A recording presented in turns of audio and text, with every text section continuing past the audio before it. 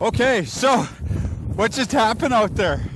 It's mums and cubs over there. Yeah, They just come around the camp. I didn't see, but you see them. yeah, And they were just over there.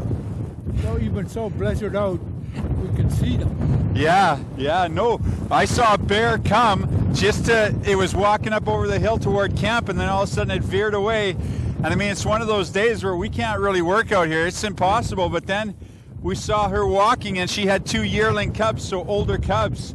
And we went out, eh? And she eventually laid down and sleeping in the blizzard. But yeah, she kept moving. She was yeah, hunting. she, she moving. Yeah, she didn't want to cooperate too No, much, but no. what do you think about working out there, like in these conditions?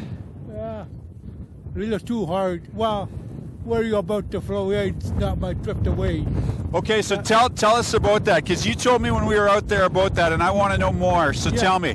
One time when we come around for hunting, the edge was so far down. Yeah. We go down by uh, by dock team. All night it blow. Next morning when I got out, it was right beside the uh, the point over here, and it's and it's gone that way. You know. So the edge had broken off, and the ice had floated Yeah. away.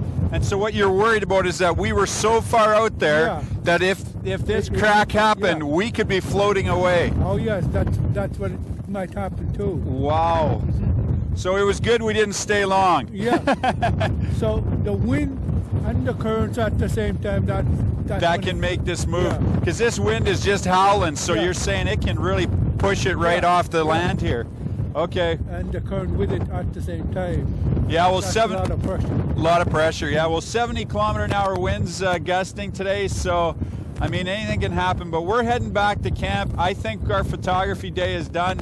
Got some great shots. We were with mom for about a half hour 45 minutes freezing cold lost a, a, a hood to uh, my lens and stuff from the blowing wind just out of my hands and gone so what can you do eh? these are the conditions but that was awesome Yeah. i got some great shots because of you Yeah.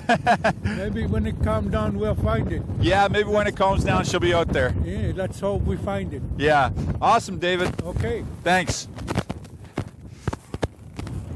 That was fantastic today.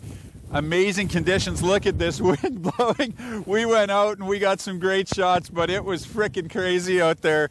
Anyway, glad it was close to camp. Glad we got back safe. That's the main thing. So, anyway, we're headed to camp. Hot chocolate time. Woohoo!